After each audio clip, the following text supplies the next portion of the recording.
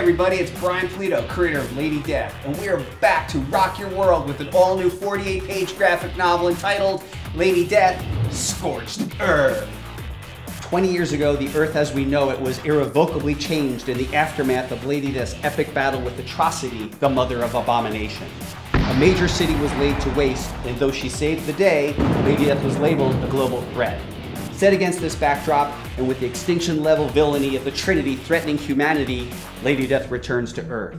Will she be seen as friend or foe? Is she humanity's salvation or destruction? Featuring the insidious villainy of the Halo Corporation, and I am sorry to say, the death of a beloved character. This one is gonna hurt, folks. Helping me bring this next chapter to light is co-writer Mike McLean, and welcome new official illustrator Diego Bernard, colorist Ceci De La Cruz, and veteran letterer Marshall Dillon.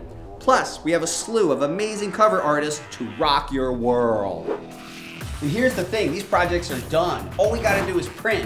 There's no doubt we need your help to bring Lady Death to life.